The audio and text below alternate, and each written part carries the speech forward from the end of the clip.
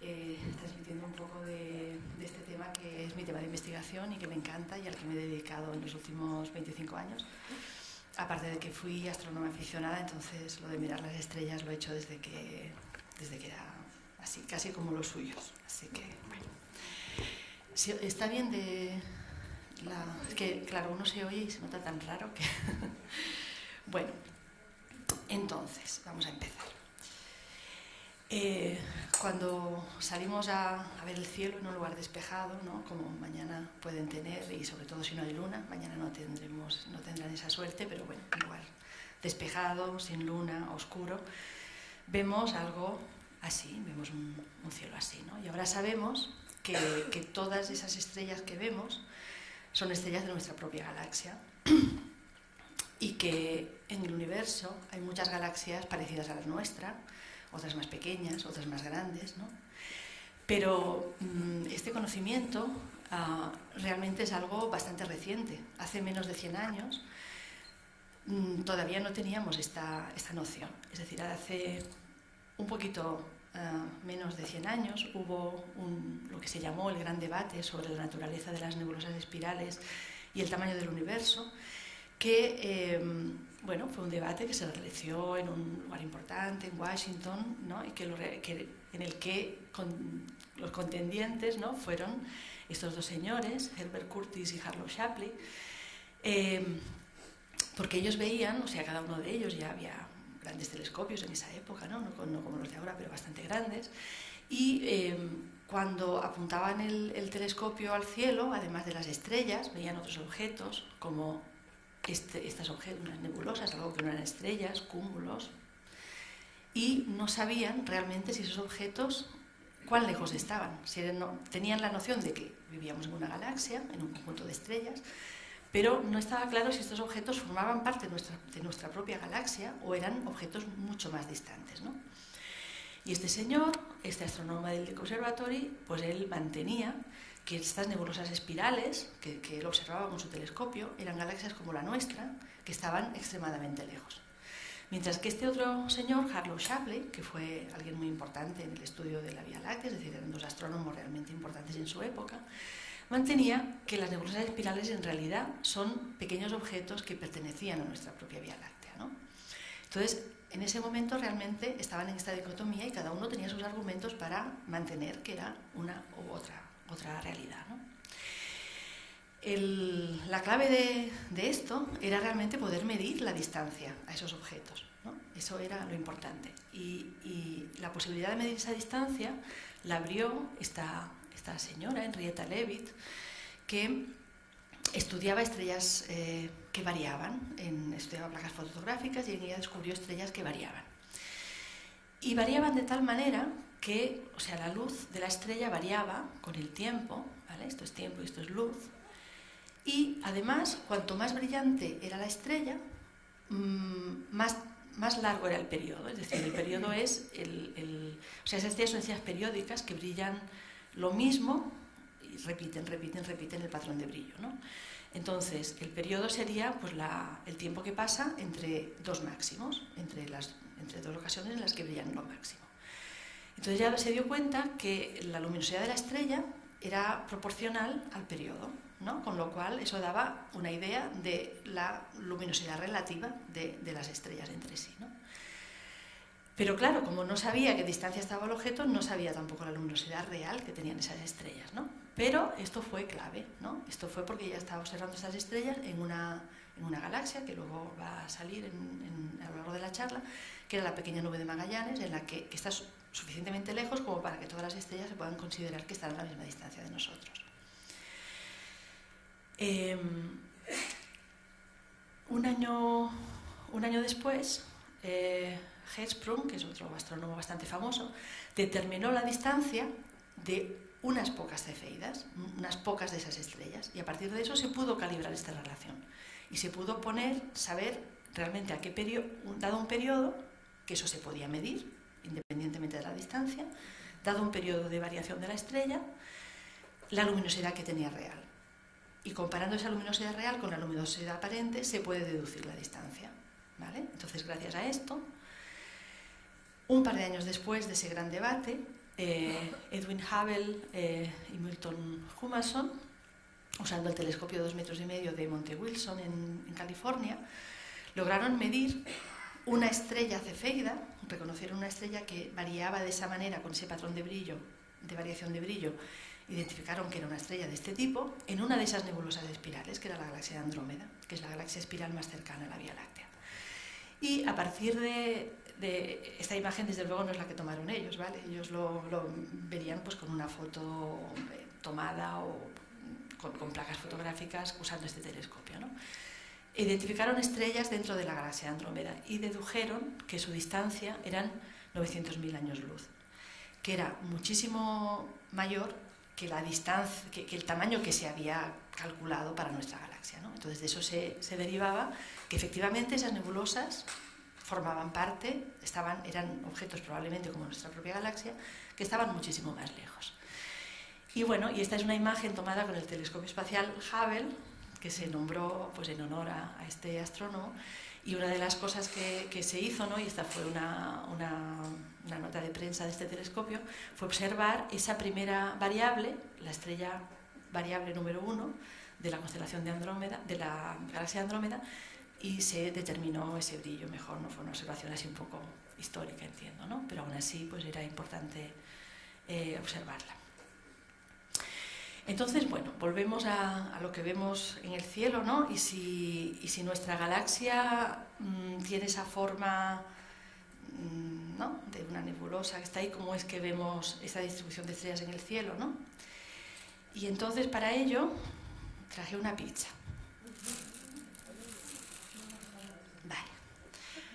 Porque ayer le pedí a Daniel, que como les decía ella es un espécimen casi casi como los suyos, solo un año mayor, em, le pedí, mírame a ver eh, en qué podríamos convertir un año luz para convertir la galaxia en algo cotidiano. ¿no? Entonces, si se convierte un año en luz en una micra, nos sale una ensaimada, no encontramos una ensaimada 10 centímetros. Esto es un poquito más grande. ¿vale? Si convirtiéramos un año luz en una micra, que una micra es el tamaño de una bacteria apenas, pues esto sería la Vía Láctea. Entonces, el Sol, vamos a imaginar que el Sol es un, granito que está, eh, un granito de orégano, en este caso, que está metido como a mitad del disco, ¿no? A mitad de, y está más o menos a, 25 años luz del centro de, de la galaxia, ¿vale?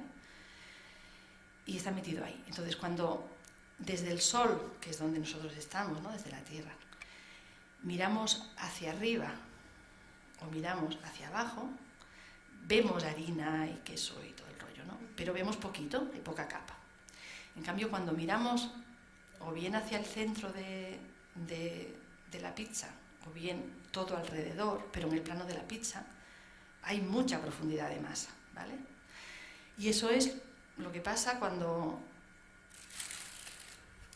aquí, ¿no? Es decir, cuando estamos mirando nuestra galaxia sería algo así, ¿vale? La pizza. Tenemos la pizza aquí y el Sol está más o menos ahí, ¿vale? En una distancia así. Entonces, cuando miramos hacia adentro, vemos muchísimas estrellas y vemos el centro de la Vía Láctea. Estamos viendo el centro de la Vía Láctea. Esto es una foto, nunca se ve así a simple vista, ¿vale? Posiblemente pudieran hacer una foto así en el día de mañana. Eh, cuando miramos hacia arriba, lo que les estaba diciendo, hay muy poquita capa de estrellas, ¿no? Entonces lo que vemos es estrellas, pero no vemos, no estamos mirando la Vía Láctea. Y cuando nos damos toda la vuelta, que os decía antes, ¿no? Alrededor nuestro, pero en el plano de la pizza, pues vemos toda la Vía Láctea, ¿vale? Esta es una vista, una vista panorámica de nuestra propia galaxia, obtenida a lo largo de, todo un año, ¿no? haciendo un montón de, imágenes. Entonces, el plano de, la Vía Láctea es esto, esto por aquí también es Vía Láctea, todo es, Vía Láctea, todo es nuestra galaxia. Pero aquí es donde, cuando estamos mirando hacia el centro o hacia el plano, y aquí cuando estamos mirando hacia arriba o hacia abajo. Y como ven, incluso desde nuestra propia galaxia podemos obtener una imagen de nosotros mismos estando dentro que se parece un poco, que nos puede recordar a cómo sería si la viéramos desde fuera. ¿no? Y, y, entonces, bueno, les cuento un poco mm, cómo nombramos las diferentes partes de nuestra galaxia, ¿no? Hay que nombrar las cosas. Entonces, ese plano, o sea, si, si la viéramos de canto, ¿no? Si la viéramos como, como esta otra galaxia que estábamos viendo de canto, veríamos bueno, el, disco de la Vía Láctea, que hay un, disco fino, un disco delgado, donde hay la mayor parte de las donde se están formando las estrellas actualmente, donde hay mucho polvo, donde hay mucho gas y donde se están formando los elementos químicos. El disco grueso, que es mm, más grueso, y ya es algo eh, más fósil, es decir, se supone que no, parece que es viejo, aún está bastante controvertido qué distribución de edades tendrían las estrellas de ahí, ¿vale? Pero en ello estamos.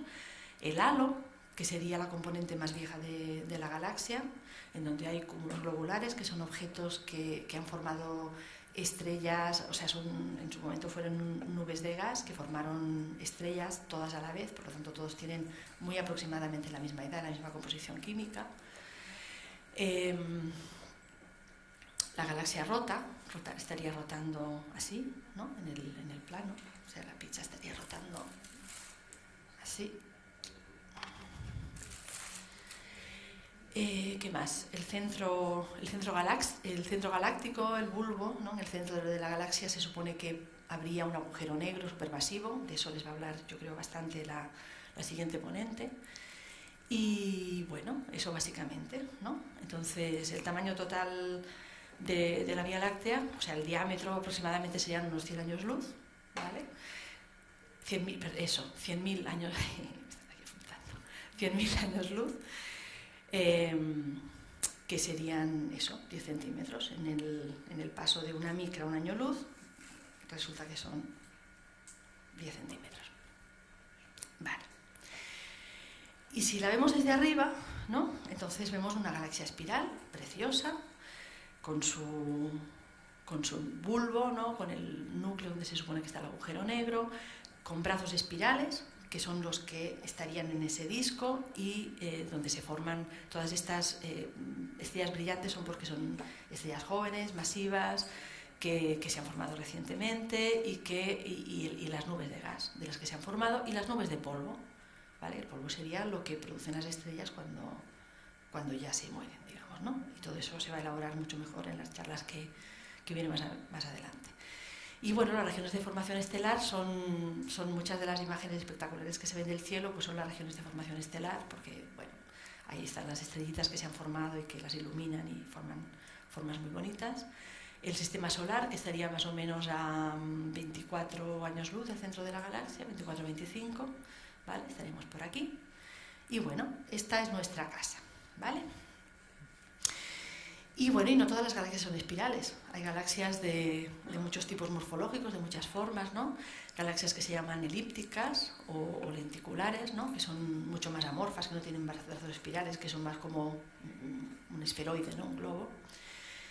Eh, luego estaría la secuencia de las galaxias espirales, eh, con barra, que es cuando tiene esta forma en el centro, así como de barra, ¿no? Con barra o sin barra, y las galaxias irregulares, y luego galaxias enanas, que en esta escala de luz ni siquiera las veríamos. ¿no? Esta es, la, que es lo que se llama la secuencia de Hubble. Hubble hizo muchas cosas, parece, o por lo menos eso decía él. Hay quien dice que Hubble en realidad no hizo tanto, que tenía, que era como muy, que le gustaba aparentar, pero trabajo lo hacían otros. Bueno, eso ya lo dejo ahí. Y, bueno, en realidad esta, secuencia no, es para nada una secuencia evolutiva, realmente. ¿no? no es que en algún momento quizás se pensó al inicio ¿no? que las galaxias evolucionaban un poco en este, este sentido. De hecho, todavía se les llama a estas galaxias de tipo, temprano y estas de tipo tardío. Pero en realidad no, no, hay una secuencia evolutiva. Simplemente cada una ha evolucionado de manera a, su manera. Y, y, otra cosa son las masas de las galaxias. O sea, pueden variar en un factor, pues, pues, pues, pues siete. ¿no? Las más pequeñitas pueden tener del orden de un millón de estrellas ¿vale? Como serían estas, incluso menos. Tenemos otras más pequeñitas que esta, que serían pues 100.000 estrellas, por ejemplo. Eh, esta sería una galaxia enana, esta es la nube grande de Magallanes, que tendría mil millones de estrellas. Esta sería una galaxia parecida a la nuestra, eh, 100.000 millones de estrellas, y esta pues una galaxia de las más masivas que, conocemos. ¿no? Em, y las galaxias tampoco se distribuyen en el espacio de cualquier manera, ¿no? Eh, se agrupan en, cúmulos, en filamentos, luego hay zonas más vacías de galaxias. ¿no? Este sería el modelo de galaxias de Virgo, que es uno de los más cercanos, y, bueno, ven que hay un montón de galaxias de, todos los tipos por aquí dentro. Luego, a, otras escalas, em, hay grupos de galaxias, Mm, este es un grupo pues bastante mm, bastante con las galaxias bastante separaditas entre sí, ¿vale? No, se están molestando mucho las unas a las otras. Este sería otro, otro ejemplo de grupo de galaxias que es mucho más compacto que las galaxias que están, a ver, perdón, que tan compacto que las galaxias están eh, realmente interaccionando entre sí y haciéndose un desastre la una a las otras, realmente, ¿no? Y formando un montón de estrellas y con mucha actividad. Y este, bueno, esta se llama el, quinteto de Stefan. Por cierto, en, la charla que les van a pasar, le van a pasar esta misma charla y en las anotaciones del PowerPoint pues hay un montón, he puesto más, más información, he puesto links, etcétera, ¿no? O sea, ahí hay un poco más de información. Y luego nosotros, nuestro, nuestra galaxia, nuestro grupo de galaxias, está en una zona que se llama el vacío, un poco el vacío local, porque estamos en una zona como muy tranquila, con muy pocas galaxias, con muy poca masa. Una, una, zona, una zona local que, que, que, ocupa unos 200 millones de años luz, de tamaño, que esto dijimos que serían 200 metros, 200 millones de años, sí, 200 metros, ¿no? 2 millones de... no, 20 metros, ¿no? ¿Cómo era? 200 metros, sí. Un millón de años luz es un metro, sí. Sí, un millón de años luz es un metro. Entonces, esto serían como 200 metros, nuestra, nuestra zona local, con un montón de galaxias ahí, ¿vale? Y nuestro, nuestro grupo local, ¿no? Con un diámetro de unos 9 millones de años luz, o sea, 9 metros, pensando que las, que las galaxias grandes fueran del tamaño de una pizza pequeña, ¿vale? Una ensaimada. Entonces nuestro grupo local lo componen dos galaxias grandes como la nuestra, una de, ellas es la Vía Láctea, la galaxia Andrómeda, eh, separadas unos 2,5 eh, millones de años luz, que serían 2,5 metros en esta, escala, realmente no están tan separadas. ¿no? Eh, bueno, creo que Alfred en algún momento les hizo el símil de del, sistema solar y cómo estaban separados los planetas. ¿no? Cuando, hice, cuando hicimos este cálculo me sorprendió, me imaginaba que, no sé, me esperaba que fueran más separadas, ¿no? pero no, realmente es así. Lo que sí que dentro de la propia galaxia es prácticamente espacio vacío. ¿no? Bueno, total, que tenemos las dos galaxias eh, grandes, cada una de ellas tiene un montón de galaxias a su, a su alrededor, ¿no? En particular la, la Vía Láctea tiene dos galaxias satélites eh, que son las nubes de Magallanes, que estarían como a unos 15 centímetros, tendrían este tamañito, más o menos, las dos. Nos hemos traído y, y nada, y luego hay un montón de galaxias también como flotando por el grupo local Mm, más, más pequeñitas también. ¿no? O sea, digamos que cada una de estas galaxias tiene su grupo de galaxias, más o menos mmm, grande, unas 50 galaxias a lo mejor alrededor, todas ellas muy pequeñitas, ¿vale? Y luego pues habrá otra veintena, treintena, pues flotando por aquí, que sepamos, ¿no? Porque realmente... Ah, bueno, aquí había, aquí había traído, vamos a ver si lo sé hacer.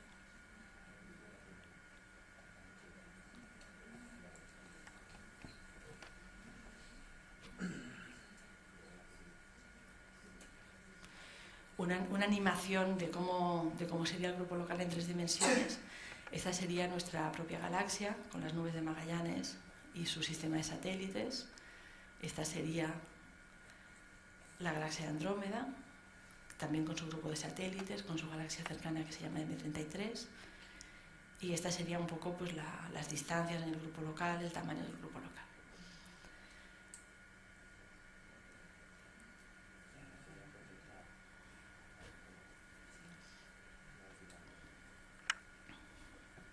local. y estos son pues fotitos de esas galaxias que estoy diciendo, ¿no? La Vía Láctea por un lado, con las, con las dos nubes de Magallanes, que serían las galaxias satélites más eh, grandes que, que, tiene. Actualmente realmente sabemos que no han sido satélites durante toda la historia de la galaxia, sino que realmente eh, parece que están llegando justo ahora, ¿no? que estaban mucho más lejos y ahora mismo están empezando a, a entrar en nuestro sistema. La galaxia de Andrómeda, que también tiene sus galaxias satélites grandes, como M33 o M32, M32, cuando digo M33 significa el, catálogo, el número, la galaxia número 33 del catálogo de Messier, que fue un astrónomo que en realidad lo, lo, que él se dedicaba era buscar cometas con su telescopio. Entonces tenía estas nebulosas que estaban siempre en el mismo sitio, pero que le molestaban porque las confundía con cometas. ¿no? Y entonces, eh, nada, dijo, bueno, pues voy a hacer un catálogo para que así cuando me las encuentre ya sepa que esa no es una, un cometa. Y entonces hizo su catálogo y entonces muchos de los objetos astronómicos tienen ese tipo de nombres, ¿no? M33, NGC, que es New General Catalog, uh, tanto, ¿no? Entonces son nombres, nombres poco, digamos, poco atractivos, ¿no? Pero bueno, eso es, M33, M32, son estas galaxias de aquí. Eh, y además de, de, estos dos grupos de galaxias, unas, bueno, de estas galaxias que son más o menos grandes, habría unas 70 o ya quizá vamos por 100, porque estamos descubriendo muchísimas últimamente, eh, galaxias menos brillantes de, eh, pues de, de, de 100 millones de, luminosidades solares, más o menos. ¿no? Algunas de ellas tienen gas y están formando estrellas actualmente y las llamamos galaxias irregulares. Irregulares simplemente porque como tienen gas y están formando estrellas, pues tienen como grumitos de formación estelar que son muy brillantes y que las hacen parecer, pues eso, una cosa todo irregular. En cambio luego están las, las galaxias enanas sin gas, que son galaxias que ya han dejado de formar estrellas hace mucho tiempo, y entonces las vemos como, como manchitas de luz sin demasiada... y bastante regular, ¿no? Bastante regulares, esferoidales, redonditas, etc. Y unas galaxias ultra débiles, que las estamos descubriendo desde hace pues quizá 10 años o así, que son extremadamente débiles, que prácticamente pues en la foto no se ve, ¿vale? Y que tendrían pues eso, 100.000 100 soles o así. Y como digo, pues estamos descubriendo muchísimas, eh, muchísimas galaxias. Este es el número de galaxias en función del año. Y como ven, a partir del año, alrededor del año 2000, hace unos 10 o 15 años, empezamos a descubrir un montón de galaxias pequeñas gracias a cartografiados del cielo muy profundos que nos permiten descubrir estas galaxias tan pequeñitas. ¿no? Vale, ¿qué más? Entonces, ahora, mmm, como el cielo es tan bonito y tan fotogénico, pues voy a mostrarles unas cuantas fotos de estas galaxias. ¿no? Eh, realmente algunas de ellas, con, del grupo local, ¿no? la galaxia Andrómeda, por ejemplo, con unos prismáticos la podemos ver. Yo cuando la miraba con unos prismáticos, pues me recuerda como si fuera el capullito de un gusano de seda, ¿no? una cosita así como bonita. ¿no? Entonces, y como ven, aquí está el, un cometa y la, y la de Andrómeda, ven que efectivamente el señor Messier pues, tenía razón en tener que clasificarlas porque bueno, un poco se parecen. ¿no? Entonces, bueno, esto ya prácticamente a simple vista, en una noche muy oscura se podría llegar a ver así, pero, pero, pero no la llegamos a ver. O sea, esto sería ya tomando una, es tomando una foto con una cámara normal, como ven. ¿no? Eh, esto quizás sería como la veríamos con, con, unos prismáticos, un poquito más ampliada, pero a ver, con unos prismáticos y una foto, porque el, el ojo no acumula luz, una, una, cámara fotográfica acumula luz durante un tiempo. ¿no? Entonces así es como se, sería, se vería si tomaran una foto pues, a través de un pequeñísimo telescopio, un teleobjetivo a lo mejor. Y así es como la vemos pues también con un, con un ya ni con un telescopio, con, sí, con un teleobjetivo, pero eh, teniendo mucho más rato de exposición. ¿no? Y estas dos son pues dos de las galaxias satélites. Esta sería creo M32 y esta no sé cuál, una de las galaxias satélites que tiene, NGC 185 probablemente. Eh, esta sería la galaxia Andrómeda, la otra galaxia grande, ¿no? la que he dicho ahora, y estas serían nuestras, nuestras vecinas, que estas sí se ven muy bien a simple vista desde el hemisferio sur. O sea, de hecho, parecen una nube, y de hecho se llaman las nubes de Magallanes. La nube grande de Magallanes, la nube pequeña de Magallanes, porque aparentemente pues, fue Magallanes, al, dar, eh, al irse por primera vez al hemisferio sur, que descubrió estas galaxias. ¿no? Y bueno, esta es un, la cúpula de uno de los observatorios de, del hemisferio sur, que es el Observatorio de Cerro Tololo. Aquí una foto más eh, aumentada ¿no? de, de, la nube grande de Magallanes. Ven que es una galaxia que está formando un montón de estrellas, que tiene regiones de formación estelar eh, muy potentes. ¿no? Ayer un compañero daba una charla sobre la nube grande de Magallanes y nos contaba que esta región de formación estelar, que es una de las la más intensa de, del grupo local, si la viéramos en el cielo, mm, haría sombra, realmente. Es algo bastante impresionante. Eh, la nube pequeña de Magallanes, este es un cúmulo, un cúmulo de nuestra propia galaxia, lo que les decía antes, este, estas agrupaciones de estrellas que serían todas de la misma, que se habrían formado de una nube de gas y tendrían por lo tanto todas la misma, la misma edad y la misma composición química, muy aproximadamente. Esta es M33, Messier 33, que sería una, una, satélite de Andrómeda. Ven que es una galaxia espiral que también está formando un montón de estrellas, que vemos por aquí el gas, etc. Esta es una galaxia pequeñita, NGC 6822.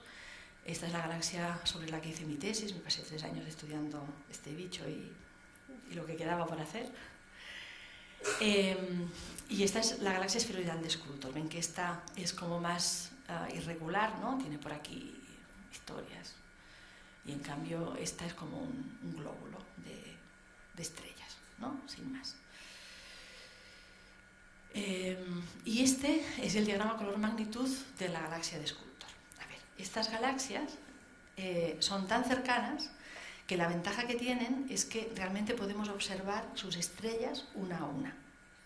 ¿no? todas, no todas las estrellas, porque las muy débiles pues no las llegamos a ver, pero podemos observar sus estrellas y podemos medir cuánto brillan y el color que tienen. Y a través de esta información hacemos lo que se llama un diagrama color-magnitud. Aquí tendríamos el color y aquí tendríamos la magnitud. La magnitud es la luminosidad de la estrella, en unas unidades muy raras, pero nos indica la luminosidad de la estrella. Y, mm, y ahora, mm, aquí esta es una pequeña animación que hizo un, un colega del, del, Space Telescope Science Institute, que muestra muy bien cómo, cómo, cómo creamos un diagrama color-magnitud. ¿no? Y bueno, y esto funciona así. O sea, este sería un, una observación hecha con el telescopio espacial Hubble de uno de esos cúmulos globulares, posiblemente el que hemos visto en, el, en, la, en la imagen de la nube pequeña de Magallanes, y, las imágenes no es como con las cámaras que tenemos que se toman imágenes en color. Nosotros no lo hacemos así. Los astrónomos lo que hacen es que toman, tomamos imágenes en blanco y negro, pero cada una de ellas eh, se toma con un filtro diferente, que de, deja pasar más un color u otro, ¿no? el rango de longitudes de onda que deja pasar ese filtro. Entonces, lo que hacemos, pues bueno, es, esto es una, imagen de la zona central de este cúmulo globular y vemos que hay estrellas rojas, estrellas azules, y como se ha hecho es que se ha tomado pues, una imagen roja en un, filtro que se llama F814W, ¿no?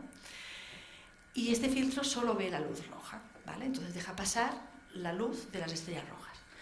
Luego se tomó otra imagen en un filtro mmm, azul, que en realidad es bueno, aquí lo, han representado en verde, ¿no? pero, pero es un filtro ya en la zona azul del espectro que deja pasar solo luz, eh, luz azul. Y luego se tomó otra imagen en un, en un, filtro ultravioleta, o sea, que deja pasar luz muy azul, muy en el rango azul del espectro, eh, que bueno, es otro filtro con otro nombre raro. ¿no? Entonces, cuando combinamos estas tres imágenes, eh, nos sale una imagen en color. Y los colores son tan extremos porque las estrellas rojas prácticamente no, no dejan pasar luz azul, luz azul, y las estrellas azules prácticamente no dejan pasar eh, luz roja. Y, eh, y, en un cúmulo globular hay estrellas muy rojas, algunas son muy, muy rojas, muy brillantes, otras son muy azules, muy brillantes, y luego hay muchas más que son las que tienen colores blanquitos que vemos aquí. ¿vale? Y entonces, como Claro, esto lo tenemos que estudiar de una forma cuantitativa y además nos gusta mucho clasificar las cosas, ¿no? Pues lo que hacemos es que las ordenamos, primero en color, ¿vale? Y vamos poniendo todas las rojas en un lado y todas las azules en el otro lado. Y cuando ya las tenemos organizadas en, en color, pues ahora ponemos todas las brillantes arriba y todas las débiles abajo. Y así nos sale un diagrama color-magnitud, ¿vale? Que es lo que les estaba enseñando antes. Entonces, en este diagrama color-magnitud, bueno, podría haber ocurrido que, vale, sí, poníamos las brillantes arriba, las débiles abajo, pero que hubiera estado todo lleno de estrellas, y en realidad no, en realidad tiene unas secuencias muy bien definidas, ¿no? Entonces, estas secuencias, eh, claro, llevaron a la pregunta, ¿y esto qué es? ¿no? ¿Y, y, y por qué eh, tenemos estas secuencias? ¿no? Esto tiene que tener un significado físico de algún tipo. Y entonces esto eh, llevó a tratar de entender por qué las estrellas estaban ahí y eso se tenía que deber posiblemente a que las estrellas evolucionaban, que no siempre estaban igual. ¿no? Y entonces, em, nada, lo que, lo que hemos descubierto, y esto también en los últimos prácticamente 60 años, no, no es algo que sepamos desde hace mucho tiempo, eh, la teoría de evolución estelar nos ha hecho comprender que eh, esta secuencia, a la que llamamos secuencia principal, porque es donde están la mayor parte de las estrellas, em, esta secuencia tiene, em, es una secuencia de masa. ¿vale? Las estrellas no es que evolucionen de aquí para allá ni de allá para acá, no, simplemente es una secuencia de masa. Las estrellas más masivas son más brillantes y están, eh, bueno, son más brillantes y por lo tanto están en esta parte que hemos dicho que eran las estrellas más brillantes de arriba, ¿no? Y en la parte baja pues están las estrellas menos masivas. Las estrellas masivas evolucionan, eh, cuanto más masa tiene una estrella, más rápido evoluciona. No es porque, no porque tenga más masa, tiene más tiempo para evolucionar, no, si tiene más masa se la gasta más rápido y evoluciona más rápido. Y cuando, cuando va evolucionando, o sea, a ver, sí, otro, otro detalle, eh, donde más estrellas tenemos en el diagrama es en esta zona, que es la, la secuencia principal. Y eso es porque las estrellas la mayor parte de la energía la obtienen de fusionar hidrógeno a helio, transformar hidrógeno en helio. Y eso es lo que hacen, mientras están en la secuencia principal, eso es lo que están haciendo estas estrellas. ¿vale? Em, y, ese es el mayor combustible que tienen, entonces es donde se pasan la mayor parte del tiempo, en la secuencia principal. Eh, cuando ya se les va acabando el hidrógeno en el núcleo, eh, entonces empiezan a, quemar hidrógeno en una capa y se empiezan, y la, forma de la estrella, la, estructura de la estrella se reorganiza y se va moviendo la estrella, ahí sí se movería de aquí hacia lo que se llama la rama de subgigantes. Y posteriormente sí que la estrella iría subiendo por aquí, iría haciéndose cada vez más brillante y más roja a medida que eh, esa esa capa donde está quemando el, hidrógeno pues va, cambiando de estructura la estrella. ¿no? Em, va subiendo por la rama de gigantes y llega un momento que esa, capa de, hidrógeno que está, quemando, que, se está, que está convirtiéndose en helio, todo eso se va, eh, haciendo que ese núcleo de helio, o sea, primero se quemaba el hidrógeno en el núcleo, se convertía en helio, luego en una capa y eso hace que el núcleo cada vez sea más grande y eh, núcleo de helio cada vez más grande. Cuando es suficientemente grande, entonces es capaz la estrella de empezar a, quemar ese helio en el núcleo. Y eso ocurre en este punto. Cuando la estrella empieza a quemar helio en el núcleo, ¡pum!, salta a la rama horizontal, lo que llamamos la rama horizontal, simplemente porque es horizontal. somos muy poco imaginativos. Y, y, aquí las estrellas lo que hacen es estar quemando helio en el núcleo, ¿vale? Hay muchas menos estrellas aquí que aquí, porque el helio es un, combustible que le dura mucho menos a la estrella, se lo gasta enseguida. Y entonces realmente pues, hay pocas estrellas que estén haciendo eso. ¿no? A pesar de que todas pasan por esa fase, lo que pasa es que se quedan muy poco tiempo ahí. ¿no? A ver, ¿qué más? Eh, esto ya lo expliqué. Bueno, quizá todo, todo explicado paso a paso lo que he estado explicando yo. Em, vale, y entonces ahí tenemos de nuevo. Entonces, em, de esta imagen hemos hecho esto, ¿no? Esto indica que cuando nosotros vamos a una galaxia o a un cúmulo o lo que sea, ¿no? Pues así es como hacemos para estudiarlo, ¿vale? Lo hacemos de esta manera, clasificamos las estrellas de una forma más cuantitativa, porque claro, aquí ya podemos medir pues, la temperatura que tienen, podemos compararlo con modelos de evolución estelar, etc. Y eso es lo que voy a explicar un poquitito ahora, ¿no? Entonces, lo que he estado hablando, ya me han comentado que habían estado hablando de evolución estelar, pero posiblemente fuera de manera un poco diferente, con lo cual quizá no me repito demasiado. Bueno, no será mucho rato de todas maneras. Eh, entonces, para calcular evolución estelar, eh, eso ya es modelos en el ordenador, ¿vale? Y se parte de la, física, el conocimiento físico que tenemos, la, información que disponemos de, cuánta energía se produce cuando dos átomos de hidrógeno se fusionan y se convierten en helio, eh, las presiones que se generan de esa manera, etc. O sea, todo el conocimiento de la física, del físico, lo utilizamos para intentar entender cómo evolucionan las estrellas. Entonces, típicamente, pues bueno, en el ordenador dices, bueno, pues venga, si tuviera una masa, de, una masa solar de, hidrógeno, cómo evolucionaría, ¿no? o como, si tuviera una de 10 masas, cómo evolucionaría. Y eso es lo que llamamos trazas evolutivas. ¿no? Aquí, eh, en una traza evolutiva, lo que nos dice es una estrella de una determinada masa, por ejemplo, de dos masas solares, ¿no? nos diría cuánto tiempo se pasa en la secuencia principal, que es esto de aquí, y qué pasa cuando va evolucionando, ¿no? cuando va a la rama de subgigantes, como cuando va a la rama de gigantes, luego cuando iría a la rama horizontal, etc. ¿no? Y aquí lo que tenemos en una traza evolutiva son estrellas de una misma masa y esto sería una secuencia de tiempo, cuánto tiempo pasa en cada, o sea, aquí tendríamos tiempo asociado, ¿no? Cuánto tiempo ha pasado desde, desde que empezó a quemar hidrógeno hasta que llega aquí. Y esto es lo que calculamos. ¿No? Luego, uniendo puntos, uniendo puntos de, de, la misma edad en las trazas evolutivas, podemos calcular lo que se llama una isocrona. ¿vale? Una isocrona sería líneas en las que las estrellas todas tienen la misma edad. ¿vale? En una, aquí todas las estrellas tendrían pues eh, 10 eh, mil millones de años, por ejemplo, en esta de. Y lo que cambia aquí a lo largo de una isocrona pues es la masa de las estrellas. Las que están más cerca de la secuencia principal tienen menos masa porque todavía están en la secuencia principal y las que ya han pasado a un estadio posterior porque han evolucionado más rápido es porque eran más masivas, entonces ya las tenemos en un estadio posterior. ¿vale? Entonces esta, es la herramienta, es como nuestra regla de medir, ¿vale? para medir las edades de las estrellas, etc. Y esto, todo esto, aquí está puesto en, temperatura y en y en magnitud o luminosidad, ¿no? Para nosotros, para, para mí en particular, tal como yo trabajo, es con color. El color de la estrella tiene que ver con su temperatura y la luminosidad pues, es la, el otro eje. Em, entonces, en una isocrona, ¿no? es decir, en una isocrona que yo, la, yo cuando mido las estrellas en un, en un, cúmulo o en una galaxia, directamente yo puedo poner una isocrona dentro, ¿no? es como si le pusiera mi, mi, metro dentro ¿no? y lo comparo. Entonces aquí, por ejemplo, esta es la observación de, un cúmulo globular, un cúmulo, no sé si es incluso el que, creo que es el mismo que hemos estado todo el rato hablando. Este es un cúmulo globular, observado, estas son todas sus estrellas, y entonces yo aquí le he puesto una isocrona dentro.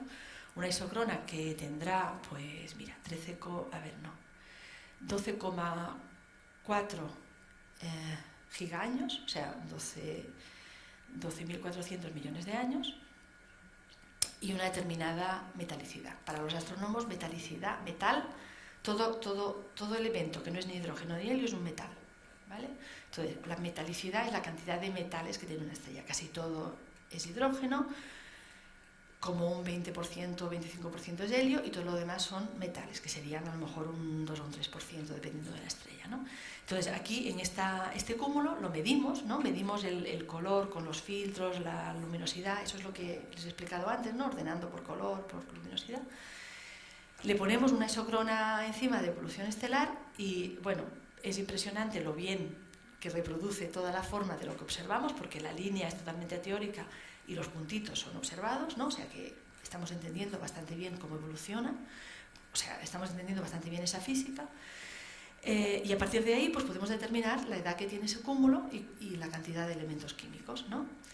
Porque una isocrona, eh, dependiendo de, la edad de la isocrona, pues cuando, un objeto estelar, un objeto, un cúmulo, una galaxia es más viejo, pues este cosa de aquí que se llama el turn-off, el punto de giro, se, se, pone más débil, cuanto más vieja es la, el, objeto estelar. Cuanto tiene más metales, se pone más rojo. esta es la rama de gigantes, se pone más roja. Y si tiene más o menos helio, pues cambia dónde está puesta la, la, secuencia principal, que es esto de aquí. ¿vale? Entonces, con, con, esta información, con esta hora de medir, pues tenemos una idea de eso, de la edad, de la composición química que tiene el objeto. Y podemos hacer más todavía, es decir, esto era una, simple, una, isocrona sencilla de una edad y de una composición química.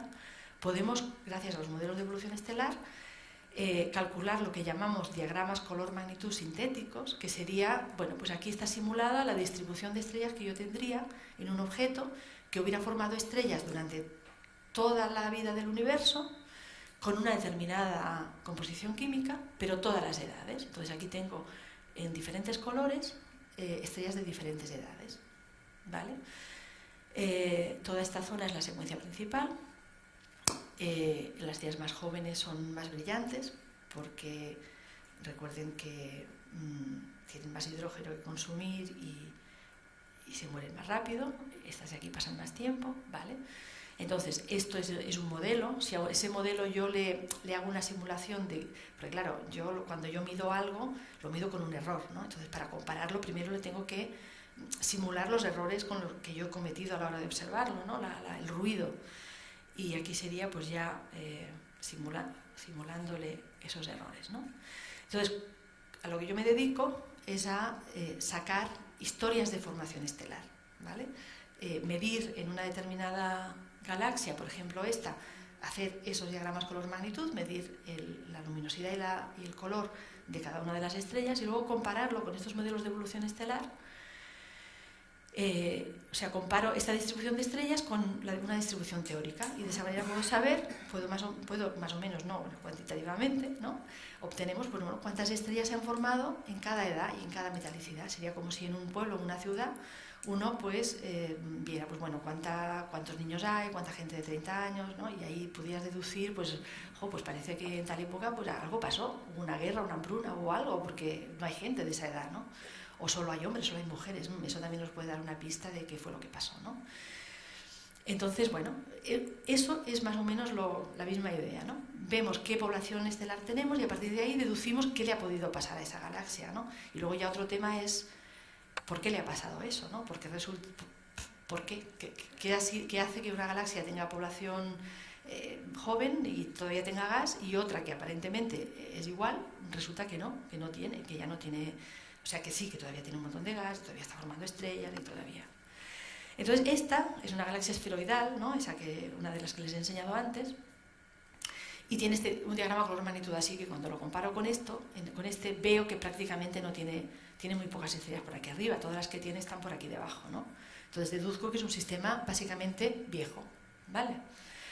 En cambio hay otras galaxias, este es un diagrama de, la nube grande de Magallanes, y aquí veo, comparado con este, ven que, que esta sí tiene toda esta parte joven, ¿vale? Entonces esta es una galaxia joven que está formando estrellas, de hecho hemos dicho que tenía esa región de formación estelar que era la más grande de todo el, de, todo el grupo local, ¿no? vale, entonces así vemos la historia evolutiva con muchísima precisión, porque lo podemos hacer a partir de esa evolución estelar que, como han visto, realmente reproduce muy bien lo que observamos, ¿no? de una forma casi bastante sorprendente. ¿no? Y, bueno, y diferentes galaxias, pues cada una tiene su propia historia. La verdad que hay una variedad enorme, ¿no? Y entonces ahí, bueno, pues eso nos da mucha información de, bueno, a ver esa galaxia dónde está, tiene una cerca, no tiene una cerca, eh, es más masiva, menos masiva. ¿De qué depende que una galaxia siga formando estrellas mucho tiempo o no? Eso es lo que estamos tratando de investigar. ¿no? Y en mi caso, pues como yo lo hago, hay muchas formas de hacerlo, pero como yo lo hago es siempre comparando con este tipo de, con esta información teórica. Eh, y eso y lo que y ese censo que decía, bueno, aquí lo, un poco me repito un poquito, pero bueno, yo creo que a veces es, es útil para realmente entenderlo.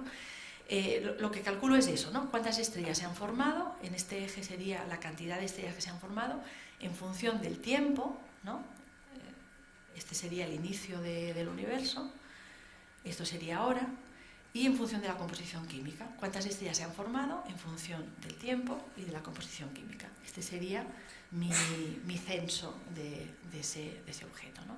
Pero ni siquiera el censo de lo que hay ahora, sino de lo que realmente se formó. Es como decir, eh, a ver, típicamente la gente se muere a los 80, ¿no? Pues si ahora, pero, pero, pero a veces también a los 60, ¿no? Entonces, teniendo más o menos esa, esa información, puedo decir, ah, pues ahora hay, hay 10 personas de 60 años, pero en su momento se tuvieron que haber nacido hace tanto tiempo, tendrían que haber nacido pues 20 por lo menos, ¿no? Entonces, esto ya realmente tiene esta información de la cantidad de materia que se formó en, ese momento. ¿no? Y nada, esto es lo mismo, simplemente la cantidad de, masa eh, que se ha formado en función del tiempo y la cantidad de los metales, la, composición química que tenían las estrellas a lo largo del tiempo. Cuando al principio de la evolución de la galaxia tenían menos, menos metales, porque los metales los han ido formando las propias estrellas, ¿no? y hacia el final pues tienen más. ¿Vale? Y esto es algo real, o sea, esto es un artículo que publicamos pues hace, hace cuatro años. ¿Vale? O sea, esto es investigación que estamos haciendo actualmente. Y bueno, pues nada, esto lo mismo, otra galaxia, ¿no? Y a partir de ahí pues reconstruimos, ¿no? Eh, sabemos que estas estrellas, estas estrellas que están por aquí, pues es que tienen aproximadamente eh, mil millones de años, ¿no? Etcétera. Y además las galaxias, eh, dentro de ellas, cambia su, su, historia de formación estelar. ¿no? En particular, estos son varios campos diferentes de la nube grande de Magallanes y vemos que en la, en la zona central esta secuencia principal está más, extendida hacia arriba. ¿Vale? Entonces, en la zona central la formación estelar está, todavía hay ahora, en cambio si nos vamos a la parte de fuera ya no hay formación estelar ahora. Entonces también, ¿por qué ocurre eso? ¿Por qué resulta que, ¿qué pasa eso? En otras galaxias parece que es al revés, que donde hay formación estelar es la parte de fuera y ya no en la de dentro. Entonces, el entender por qué pasa todo eso nos da información de, cómo y por qué evolucionan las galaxias. Y bueno, y para tener todos estos datos, para estudiar todo esto, pues usamos telescopios. Entonces, en todo el grupo local, eh, claro, también para cada galaxia mm, está su, el telescopio que le va mejor, ¿no? Eh, no, toda, para, no para todas nos va bien el mismo, el mismo telescopio. Entonces, para las galaxias más, más cercanas a la Vía Láctea, eh, como, están cerca, como están cerca, las vemos mucho más grandes, realmente en el cielo son grandes. Entonces nos interesa un, telescopio de tierra que, tiene, que tienen detectores bastante grandes que pueden eh, observar a la vez una zona grande del cielo. Y como están bastante cerca, pues bueno, tampoco, aunque no lleguemos, aunque no lleguemos a medir estrellas tan, tan, tan, tan débiles, no pasa nada, porque estrella de una misma luminosidad intrínseca, pues la vemos más brillante en, en las galaxias cercanas. ¿no? Entonces, para, para las satélites de la, de la, Vía Láctea, realmente lo que mejor nos va son los telescopios de tierra, como los que van a ver en el Teide, como los que tenemos en La Palma, ¿no? Eso nos va muy bien. En cambio, cuando nos vamos al resto del grupo local, para obtener ese tipo de datos, ah, realmente lo que necesitamos es un telescopio en el espacio. Vale, muy bien. La razón de ello es que, eh, eso posiblemente también ya les hayan hablado o les van a hablar en algún momento, cuando la luz atraviesa la atmósfera, eh, la atmósfera la, se la dispersa, la, mueve, ¿no? hace que un rayo de luz que entre así, pues, y al final lo vemos como una mancha. ¿no? Eso nos hace que, que, mm, no sea muy complicado observar, o sea, no, complicado, pero que una estrella que sea débil, la vas a, toda la luz se va a dispersar en una mancha en tu detector y entonces no la puedes detectar. ¿vale? Entonces, para objetos que están muy lejanos, también lo que ocurre en estas galaxias, ¿no? como vieron en las fotos, es que sí, vemos las estrellas individuales, pero están muy juntas. Entonces, si una luz de una estrella se me dispersa en mi detector, se me mezcla con las, estrellas de al lado y, al final tengo ahí, cometo mucho error al medirla. ¿no? Entonces, me interesa, por un lado, que la luz me llegue lo más nítida posible ¿no? y que, se me, coloquen un poquitos píxeles para poderla distinguir de las estrellas de al lado. Entonces, por eso, para las galaxias más lejanas, que además las vemos en, poquito espacio, pues me viene súper bien el telescopio espacial Hubble, que ha sido una revolución en este campo y en muchos campos, precisamente por eso, porque permite observar estrellas muy, muy, muy débiles y encima en objetos que tienen este problema ¿no? de, que las estrellas están muy juntas, pues las permite separar muy bien. Y, ¿Y qué pasa con nuestra propia galaxia? Porque claro, ese es otro tema, ¿no? Cuando observamos una galaxia de, fuera, de nuestra propia Vía Láctea, resulta que, bueno, que todas, las, todas las estrellas están muy lejos, tan lejos que es como si estuvieran todas a la misma distancia. Entonces, con medir una distancia, como dijimos al principio, por ejemplo, con las estrellas cefeidas, ¿no? Mm, digamos que si medimos distancias de, estrellas en esa galaxia que está toda la misma distancia, pues obtenemos una única distancia. Entonces, para pasar de las magnitudes que observamos, de la luminosidad que observamos a la luminosidad física real, me vale con un número, una única distancia, y ya lo tengo todo colocado en el plano físico. Pero nosotros estamos dentro de nuestra propia galaxia, entonces cada estrella está a una distancia diferente y, muchas, para muchas de ellas no podemos medir la distancia fácilmente, porque la podemos medir para esas pocas que tienen la particularidad de variar de una determinada manera, ¿no? pero en la Vía Láctea eso no nos pasa. Entonces, claro, eh, hasta ahora no habíamos podido realmente hacer este tipo de trabajo de esta manera para la Vía Láctea, porque no podíamos, porque podíamos medir la luminosidad aparente de las estrellas, pero no la, luminosidad real que podemos comparar con los modelos. ¿no? Entonces, la Agencia Espacial Europea, eh, para este problema y para, para solucionar muchos otros, eh, ideó la, la, misión Gaia, una misión muy ambiciosa de la Agencia Espacial Europea, que lo que ha hecho, eh, o sea, lo que está haciendo realmente, porque todavía está tomando datos, es un mapa tridimensional de nuestra galaxia, es decir, medir la distancia de las estrellas de unos mil millones de estrellas de nuestra galaxia. Está midiendo su brillo, su distancia, cómo se mueven, ¿no? realmente cómo se mueven dentro de la galaxia y su composición química. Y la segunda gran entrega de datos se produjo hace un par de meses y nos tiene locos a todos, porque hay tanto que hacer y que, bueno, que está saliendo dos artículos con datos de Gaia todos los días. Em, entonces hay, eh, bueno, esto, por ejemplo, mm, bueno, el proyecto que más ilusión me hace en este momento es precisamente hacer este tipo de trabajo con la herramienta que yo sé usar, porque bueno, al fin y al cabo, bueno, yo soy de, en mi caso, ¿no? Sé mi herramienta y la uso y me encanta usarla y ya está, me quedo ahí, ¿no? Entonces, eh, nada, eh, está todavía la duda ¿no? de, de, qué distribución, cómo se ha formado el disco fino de nuestra galaxia, cómo se ha formado el disco grueso. Eh, qué distribución de, edades de estrellas hay ahí, ¿no? durante cuánto tiempo estuvo formando estrellas cada, componente. ¿no? Eso nos da información de cómo se ha formado una galaxia típica en el universo como es eh, nuestra propia Vía Láctea. Es una galaxia realmente muy común, ¿no? el tipo de galaxia. Entonces, desde el día 25 de abril tenemos eh, acceso a la posibilidad de realmente hacer estos diagramas color magnitud con las estrellas de nuestra propia galaxia y además seleccionar las estrellas que están en el disco delgado, en el disco grueso, en el halo y vemos que efectivamente el diagrama color magnitud es diferente en un lugar y en otro, igual que nos pasaba en las otras galaxias de fuera. ¿no? Y, y, entonces eso va a hacer que se pueda, que podamos de nuevo, ¿no? comparando con, ¿no? con, con, los modelos de evolución estelar, podemos eh, resolver la pregunta de cuál ha sido la historia de formación estelar en cada una de estas componentes, incluso en el disco eh, delgado, pues en función de la distancia al centro de la galaxia, etc. ¿no?